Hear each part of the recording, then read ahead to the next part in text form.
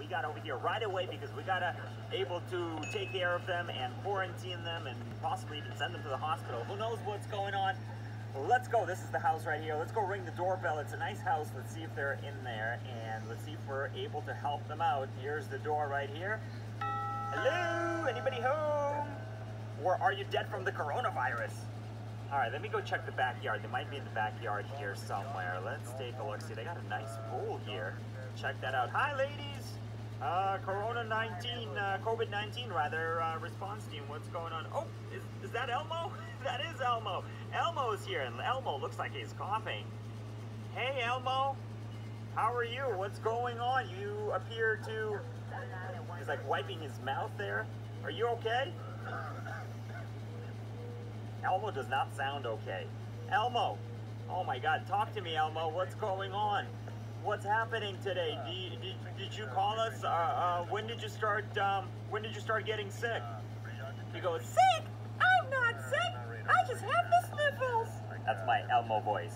That's also the female voice that I do on a lot of my live streams. Um, okay, Elmo, I don't think you have the sniffles. You're like coughing all over the place. Did you infect those ladies there as well? Uh, what symptoms do you have, Elmo? Elmo goes, I can't taste anything. Okay, Elmo, that is a symptom of the coronavirus. I gotta be honest with you. Let me check you out, okay? Let me take a look here. Let's see what we got going on, Elmo. I'm gonna take your, uh, I'm gonna take your body temperature. You just stay right there, okay? I'm gonna do this, uh, I don't need to be right next to him. Let's see here. Oh my God, he's got a body temperature of like 39.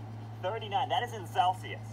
39 degrees Celsius is, I think it's like, it's pretty much 100 Fahrenheit. You know, I can never do the conversions myself, but it's like about 100 Fahrenheit or very close to like 99. Elmo, I think you're sick. I think you are very sick. Stay for me right there, Elmo. Okay, don't move. Don't go anywhere. Just stay right there. I'm gonna go. I'm gonna go get my stretcher. Let's go get a couple of things set up over here. We're gonna have to take care of Elmo. Elmo is very sick. Elmo's got the coronavirus. Okay, so here's what I'm gonna do. I'm gonna get the tent out. I'm gonna get like a tent here where we can put Elmo in, then we're gonna call the ambulance, we're gonna get him in there. So uh, let me go ahead and just grab the tent, I'm gonna set that up, and then we're gonna go get, uh, get Elmo. And poof, there it is. Got the tent set up here, it says exit, but don't worry about that, okay? We just have Elmo, so that's okay, we can, put, we can go through the exit. Let me go ahead and get over there to him, because uh, we're gonna put him on the stretcher here. Uh, he's clearly, uh, he's clearly suffering a little bit, so I'm just gonna go ahead and pull in. Um, hope I can make it through here. I know it's pretty low, but get that dog out of the way. There we go. I'm just going to put my van right into Elmo's backyard. I did not know Elmo lives in Los Santos, but I guess he hangs out here.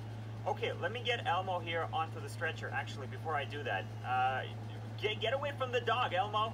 Get away from the dog. Before I do that, let me take a look here. I want to see if maybe we can also evaluate him for uh, any other symptoms. You just stay right there, Elmo.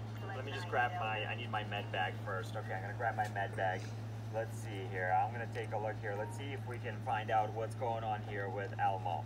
Let's take a look here. We're gonna open the treatment menu. I'm just gonna walk away so we can get rid of the stop the ped menu. Okay, Elmo. Uh, let me take a look at you here. Let's see. Um, let's see what else you got. Let me take a look. See if you got any other symptoms. Uh, um, he's got a broken arm. He's probably been coughing in it so much that his arm broke. Okay, Elmo, I'm gonna give you a, a, a splint and some painkillers as well, just to help you with your arm. Okay.